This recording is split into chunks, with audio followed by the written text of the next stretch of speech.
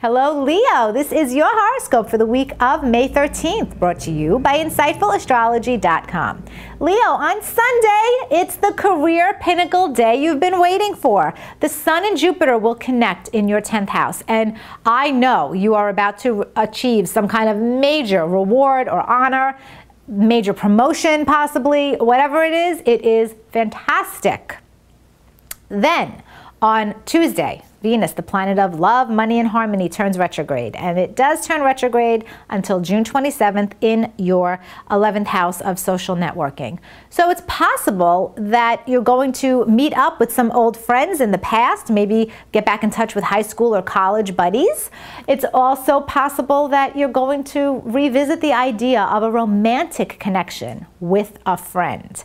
It should be an interesting time.